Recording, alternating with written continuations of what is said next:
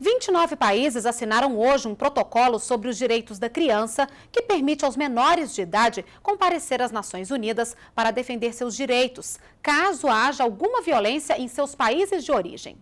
Foi durante a 19ª sessão do Conselho de Direitos Humanos da ONU em Genebra, na Suíça. A ministra da Secretaria de Direitos Humanos da Presidência da República, Maria do Rosário, participou das discussões e conversou por telefone com a NBR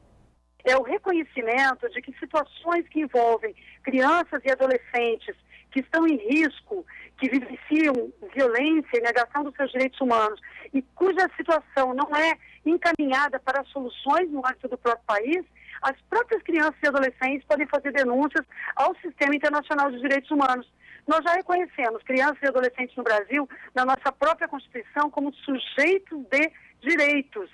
não apenas como adultos em miniatura, mas como é, cidadãos no nosso país. E a comunidade internacional, a partir desse protocolo, também passa a considerar a voz das crianças no mundo.